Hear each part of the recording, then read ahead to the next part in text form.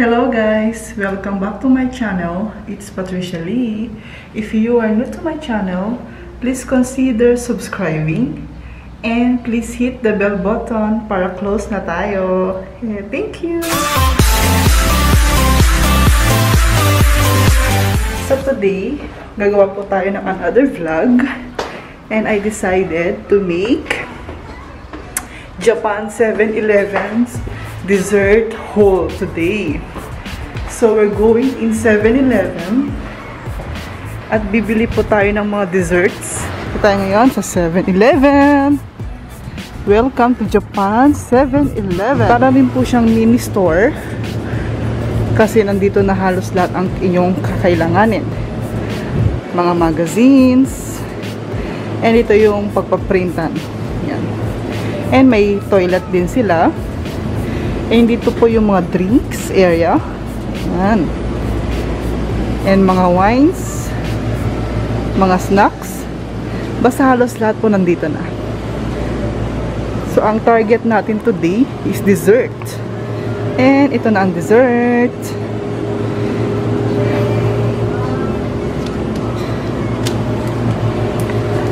So, bibili tayo ng dessert. I think this is good. Strawberry. And matcha. There's a matcha here. Yeah, ito po yung iba't ibang uri ng dessert dito sa 7-Eleven.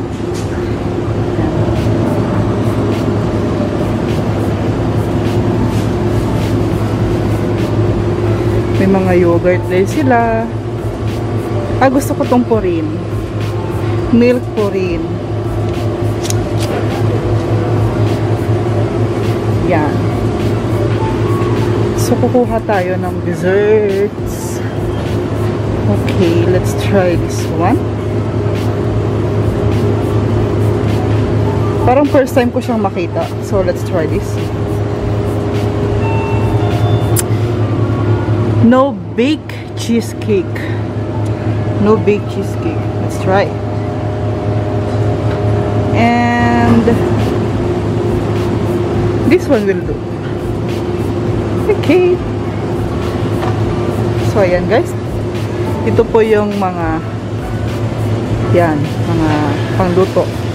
Mga suka, toyo, mantika, ganyan, sesamis, drinks, tinapay. And meron po silang mga frozen area. Yan. And meron din silang mga ice creams. Okay. And doon po yung mga obento. Ready to go lunch. And mga drinks. Ready to go drinks. Yan.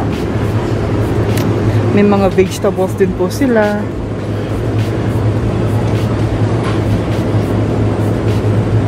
Ito po yung mga ready to go eat na lunch para sa mga taong hindi pa hindi nakapagluto. Yan. Hi guys! So I'm back and nakapag-set up na po ako. No, walang setup na nangyari. Joke lang.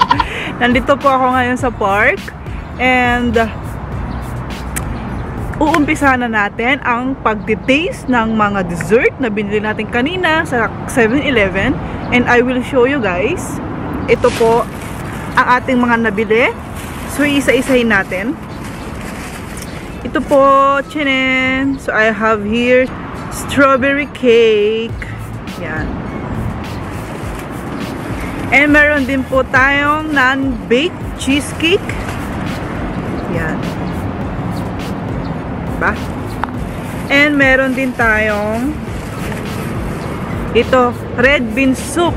Kung naalala nyo guys, dun sa aking matcha na um, matcha na vlog, ito po yung dessert na kinain ko with matcha. And yun po ay yung mainit na version. And ito po ay malamig na version. So, we'll have it again to now. And meron din po akong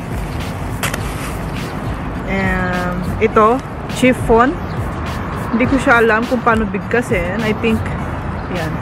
Basta ito. And the last one, and meron po tayo milk po rin. Chirin, milk po rin. So, ayan guys, meron tayong limang dessert na binili sa 7-Eleven kanina. And tatry po natin kung ano yung pinakamasarap para sa akin, para sa panlasa ko. So, let's start! So, ayan guys, okay na. Siyempre, meron din tayong hininging mga free spoons. Pero syempre, isa lang gagamitin ko. so, ayan guys. Umpisahan po natin. Gusto ko pong umpisahan natin sa milk purit. Chinin! Sobrang white. Mm. Wow!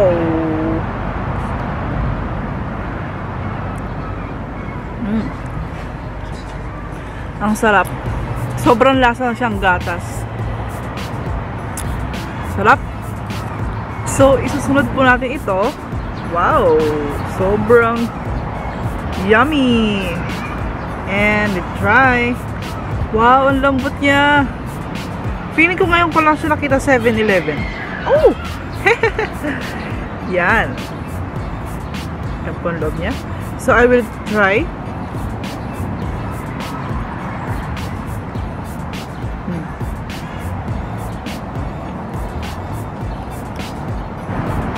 And ito naman guys, yung kaninang no-bake cheesecake daw.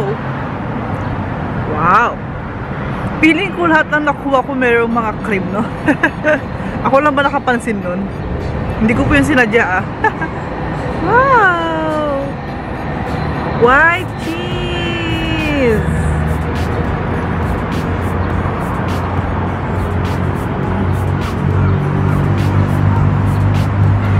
And ngayon, punta naman tayo sa red bean soup daw. Tcharam! Yun.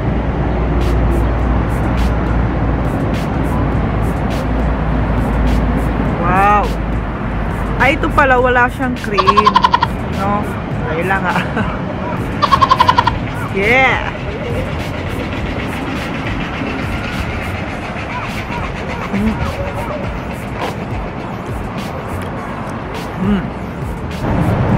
And sa strawberry cake! Tcharam! Try. Wow.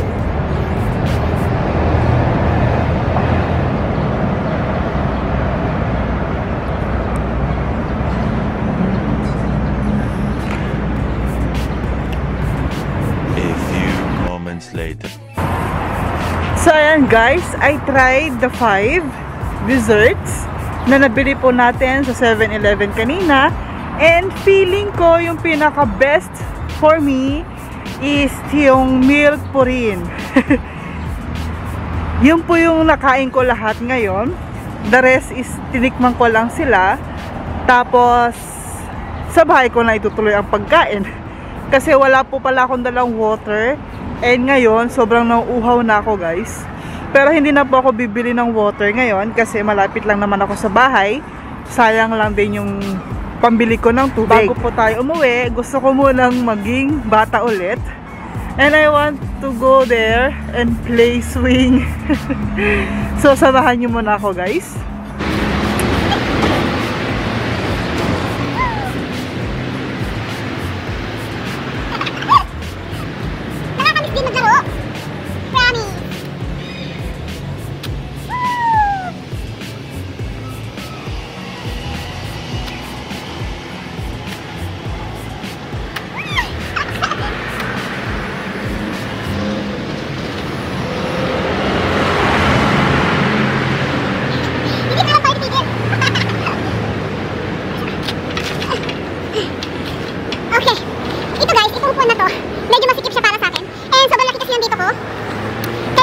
Masikip.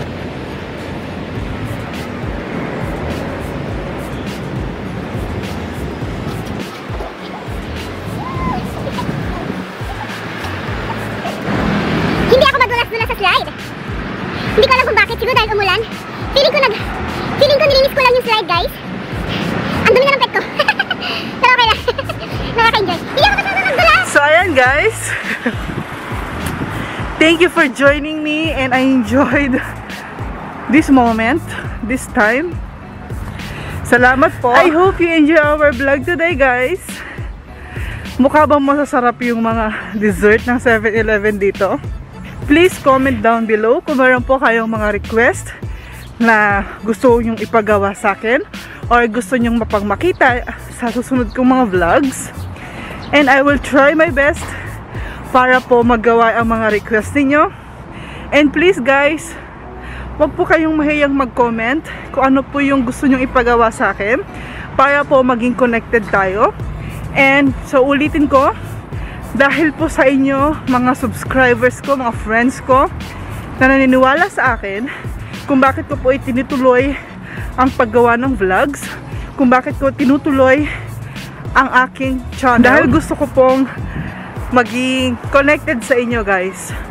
So maraming maraming salamat po sa always na pag-support, sa pagwa-watch, sa pag-like, and sa pag-comment. Thank you so much guys. I really do appreciate it. Thank you, thank you so much. And guys, please keep on spreading the news. That's si Patricia Lee. And you know, that's me. ay meron na pong YouTube channel. Maraming maraming salamat guys. And I hope to see you again to my next vlog. So if you enjoy this video, please don't forget to like and share my video guys. Thank you. So please keep on supporting me and subscribe ka na and hit the bell button. Please take care and God bless you all. See you again to my next vlog. Once again, it's Patricia Lee. Bye-bye!